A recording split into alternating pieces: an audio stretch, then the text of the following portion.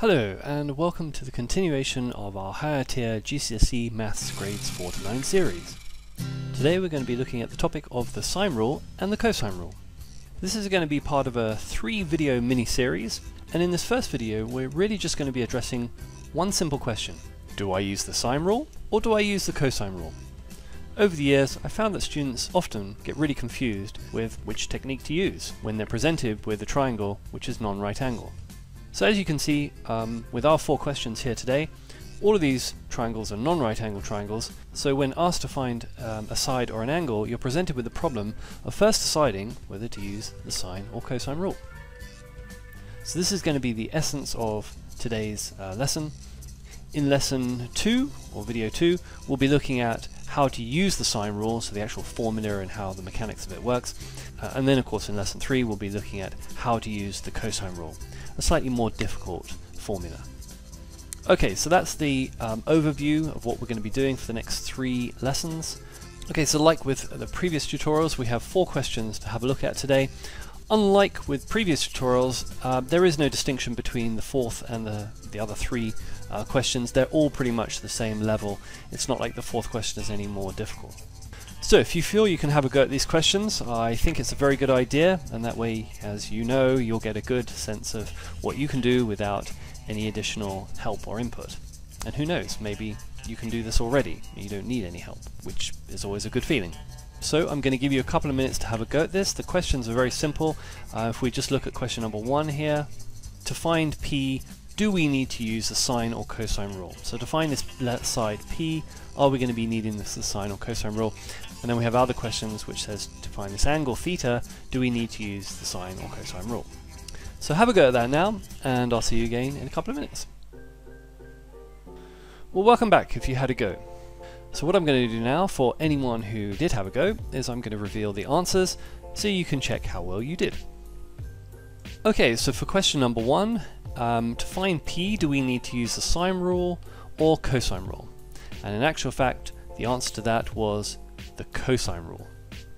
And if you got that right, very well done.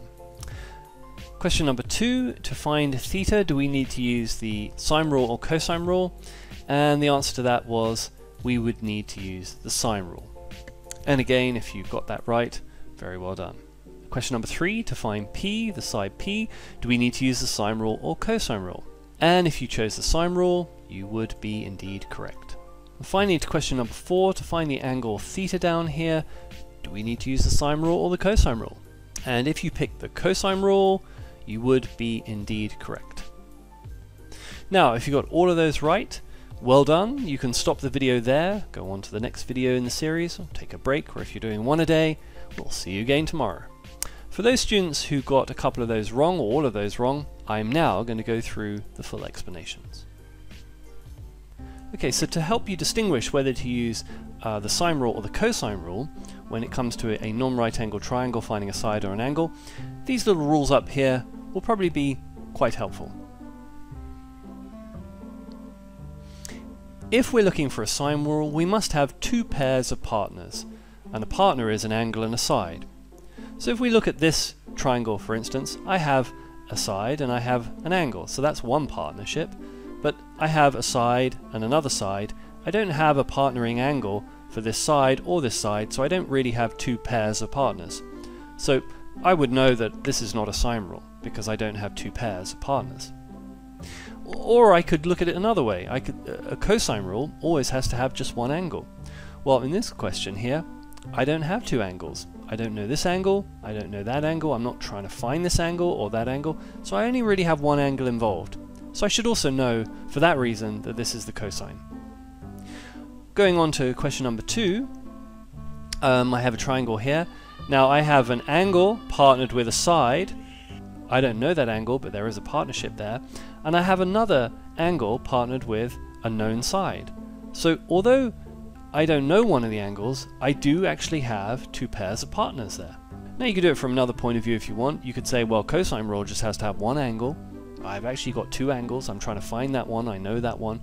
It's talking about two angles, it can't be the cosine rule. So that's why it's the sine rule. Okay, let's look at this one. So we know sine rule has to have two pairs of partners. And does this triangle have that? Well, it has a known angle, an unknown side. That would be one partnership there. And a known angle and a known side. So actually, I have two pairs of partners. If you do it from the cosine rule definition, it violates the cosine rule because there are two angles. Cosine rule is just one angle. So it must be the sine rule. Hopefully by now you're getting the idea uh, with this. I'm doing it from both point of views, I'm doing it from the sine rule and the cosine rule, but really you can just do it from one point of view. Um, so now I'm just going to do this from the cosine rule point of view. So to find theta, do we need to use the sine rule or the cosine rule? So this one I'm just going to do it from the cosine definition point of view. So remember cosine, you always must have one angle.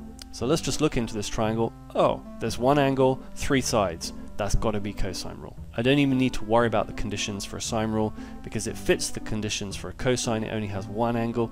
I know it's cosine. And that completes question four and this lesson for today.